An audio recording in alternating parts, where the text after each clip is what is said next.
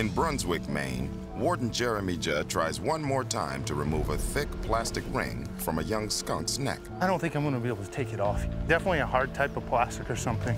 Do any of you guys have like maybe wire cutters? Um, maybe. I'm gonna go see what she has for tools. Judd borrows a sharp pair of gardening shears from the neighbor.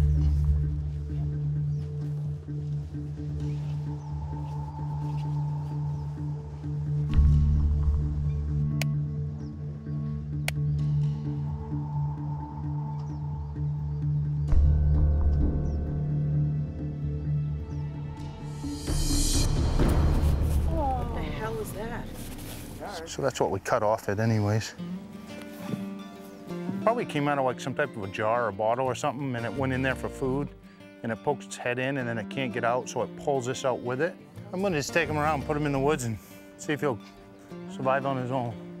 It's a pretty good injury around his neck and stuff, but I hope with that being gone, he'll kind of recuperate from it. Skunk looked very good. Looked like it had plenty of energy and stuff to, as I released it into the woods. I'm really hoping that uh, it's going to grow up and be a healthy skunk. Thank you so much for Well- doing that. I'm glad I was able to help him. Hopefully he heals up from his injury fine. Even though it's a little skunk, I said, oh, they won't care about a little animal, but they do. All right, guys, thank you. Nice meeting you.